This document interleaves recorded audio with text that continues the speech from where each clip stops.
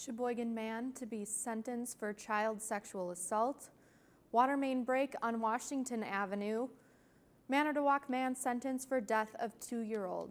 These and other local stories are coming up on this edition of Community News Review. This is Community News Review, service WSCS TV, news content provided by WHBL.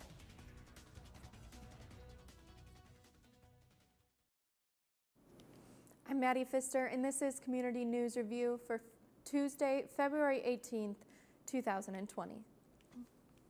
It is primary election day in Wisconsin, and while the presidential primary won't be until April, today's election will decide the two candidates who will appear on the April ballot for a Wisconsin Supreme Court seat. Some local races will also appear on the ballot, and the Supreme Court candidates are Daniel Kelly, Jill Karofsky, and Ed Fallone. Voters in Sheboygan's 6th Aldermanic District will choose between Joseph Vugrinovich and Mark Herman and Dean Decker. Sheboygan County Supervisor District 20 has three candidates, Mike Zimmerman, Patrick Johnson, and Brian Hoffman. And voters in the Random Lake School District will be able to vote for as many as two candidates from field comprised of Renee Rathke, Laura Meyer, Charles Mueller, Russell Saraseg, and Elizabeth Kocher. Voters who are not registered or who want to check their status can do so at myvote.wi.gov. Same-day registration is also available in Wisconsin, but you'll need to bring proper documents for that to take place, such as a photo ID, which everyone needs, and the proof of residence. A Sheboygan man is due to be sentenced today for sexually assaulting a child in 2016. 20-year-old Fernando Escalara was charged after a teen who was 14 years old reported the incidents to police. Escalara, who was 18 at the time, was charged with felony sexual assault of a child, a charge that carries a maximum sentence of 40 years in prison. He is also expected to be sentenced in a separate child sexual assault case, this one happening in 2018. Drivers on Sheboygan's south side are dealing with rerouting as around a water main break on Washington Avenue east of Sheboygan South High School. According to the Sheboygan water utility break, was reported shortly after noon this past Friday, and during the course of repairs, a valve failed. Repairs to the valve are underway, and it is not known yet when that will be completed or if a full closure will be needed. Cars in ditches and power outages kept crews across Sheboygan County busy as heavy, wet snow fell Monday evening. The western part of Sheboygan County picked up around two inches of snow out this latest storm, while Fond du Lac reported around four inches as the storm wound down before midnight. Power was knocked out overnight in parts of Cascade, Oostburg, and the town of Lima but crews cannot say whether or not the outages were weather related. In the city of Sheboygan, there were roughly a half dozen snow-related crashes. Countywide, there were no serious injuries.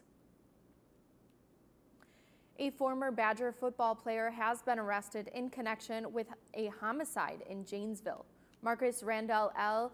33 was taken into custody on Saturday by the Chicago Police Department, according to multiple reports. The former UW wide receiver is facing two counts of intentional homicide stemming from a shooting on Monday, February 10th, that killed two women.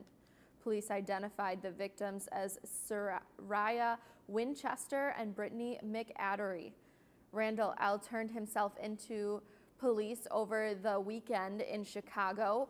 This isn't his first run-in with the law, as he was found guilty of battery charge for beating someone in a campus dorm in 2005. And additionally, he was suspended from the team for an incident that at a block party later in his career. After leaving the football team in 2007, he was also sentenced to jail time for an armed home invasion in Cook County, Illinois, and released early on parole. Randle El. is the younger brother of former Indiana quarterback and NFL player and coach Antwaan Randle El. Janesville police announced the arrest on Saturday evening. And finally, a Manitowoc man is, has been sentenced to life in prison for the death of a two-year-old boy.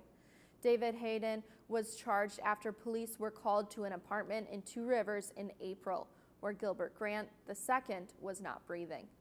Investigators say the child had a number of injuries, including bruises on his forehead, cheeks, back, and arms, and the child later died. Hayden admitted to spanking the child while shaking the toddler while yelling at him to go to sleep. The child's mother and another woman are also facing charges, and the child's mother, Reina Santiago, admitted to smoking marijuana in their apartment, engaging in prostitution, and told investigators that the child had been abused for months. Their roommate, Bianca Bush, is accused with hitting the child with a shoe and a belt, and the roommate and the child's mother are due back in court on a child abuse charge in early March. And that is our report for today. Join me again on Thursday for more local news and information on Community News Review. News content for this program provided by WHBL in cooperation with WSCS TV.